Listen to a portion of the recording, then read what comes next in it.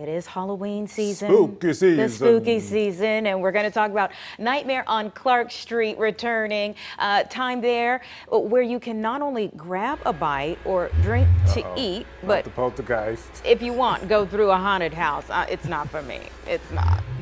Wait, what is that? It's not I for see me. dead people. What is that? I, I don't know. Where's So that Jake? reminds me, Caroline sitting there looking at that TV. Oh, Wait, Tim, what you doing Guys, there? I, I, I'm looking for the person I was supposed to interview. He was here a minute ago. His name is Jasper. Oh, there he is. Jas- Jasper Robinson is the general manager here.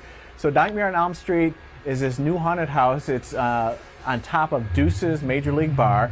And you've been doing Halloween pop-ups for a few years, but this is your first haunted house, right? Yes, this is our first year for the Haunted House. So this is amazing, all the stuff you have here. Um, how long did it take to get this all together? Me take, take me through as you're Well, we can walk through one a couple of the scenes.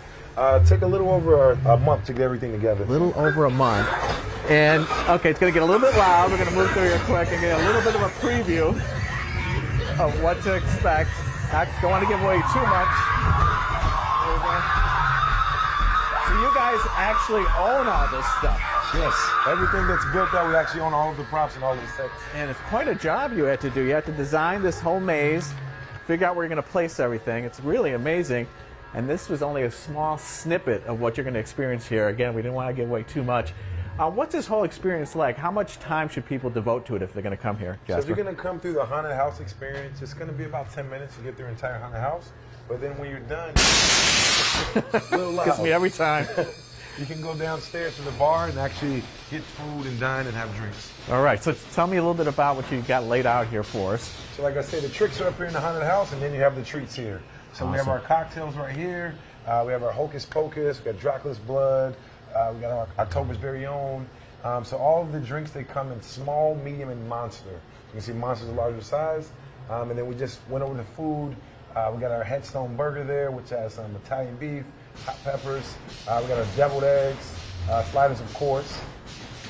And where can people find out about your haunted house? So you can go to nightmareonclarkst.com. Again, it's nightmareonclarkst.com. And I know this is a little scary, very scary part of this. Um, uh, what would you? I, I hope you don't mind me holding your hand through that for part of it.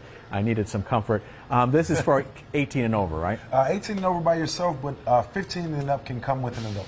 Okay, so let's let's toast your first year for your haunted house. You did a great job. Happy Halloween. Happy Halloween. Ah, wow. Good stuff, guys. yeah, this is Nightmare on Clark Street. It's 3505 North Clark in Lakeview. Back to you. unison. I love it. I was going to say the food looked good, Tim, but Absolutely. Terrence said, "No way am I walking through that to get the food." Oh, he'd love it. I'll hold I'm his sure a lot of people will. I love Just- those fries. uh, Ah, Bring something back. I mean, we say that all the time, and then you But he never, never do. Does. I mean, I'm not holding a grudge, Somehow it but never makes it back. I don't get it. Somehow it disappears like a Don't Bermuda blame your Triangle photographer. the between here and ghosts the take station. it. Mm. the ghost. all right, Tim. Thank you. I don't you. get it. Boy, bye. We'll be right back.